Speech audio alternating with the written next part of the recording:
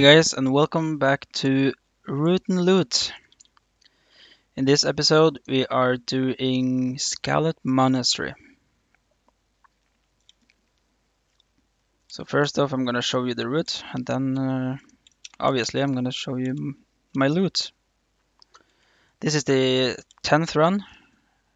It should have said 9 out of 9 on the uh, dungeon reset button, but first uh, I, I got a phone call that lasted for like an hour and a half, so I got logged out. Uh, these runs norm normally takes I'm gonna say 40 minutes for 10 runs. I don't have a speed set. I use bear uh, bear tatar. Uh, this one to get some more move movement speed when I'm killing stuff. So already this is probably the worst run of them all. Literally no items. So hopefully I can get some of these mobs.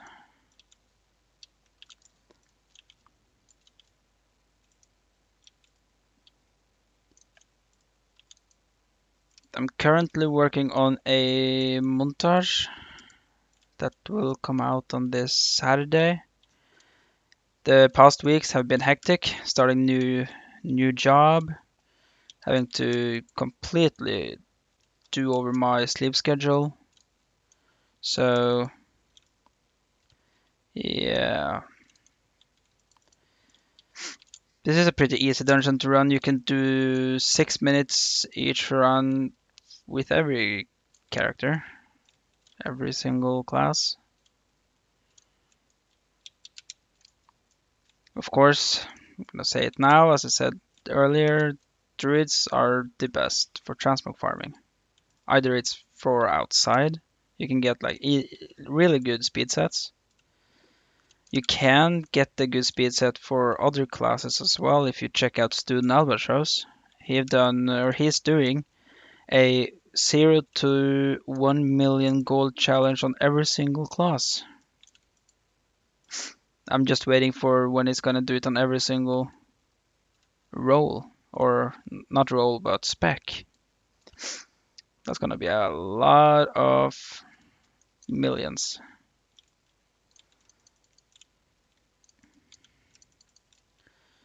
We're almost at the end.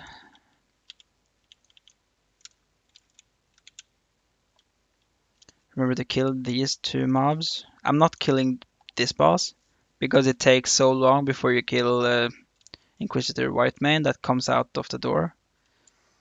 She's gonna put you to sleep and it takes another yeah 10 seconds.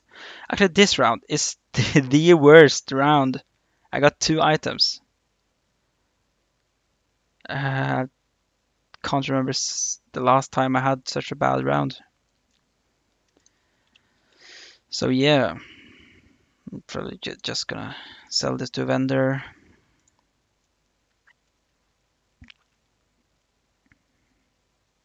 It gave me around like 500 raw gold. Let's go over the items. It's not put in any order, so this, the butcher, it's a huge knife Uh, and a 0.01 but 15k.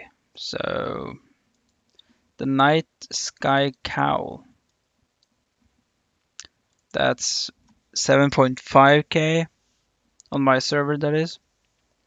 And it's 0.02. And there is I didn't get any of the scarlet items, but I got a lot of or some other green items. You can see 0.01, 0.01, same, and there are some of these just because they sell and I don't have any on the auction house. Like this one, mail combat boots. There is none on the auction house and it's 7k. So yeah. And yes, I do have a ring because they sell. So this was probably my worst root loot. Uh, but I ended up on like I think it was 80k. So yeah, not a bad start. Even though there ain't many people watching my videos, I'm thankful for those who are. And I'm not doing this to become a huge YouTuber.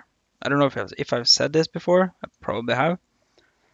But I'm doing this to share my knowledge, share with you that it's possible to sell transmog. Because I know there is a lot of people struggling with selling transmog. So yeah, this was a a lot shorter video than I thought. It's racking up to six minutes, so yeah, there's nothing more to add. Thanks for watching. Hope you guys are having a beautiful day and a happy weekend when it when that's a, when that arrives. Whenever you see this, maybe it's the summer. Happy summer or Christmas. Anyways, thanks for watching. Love you all. Bye.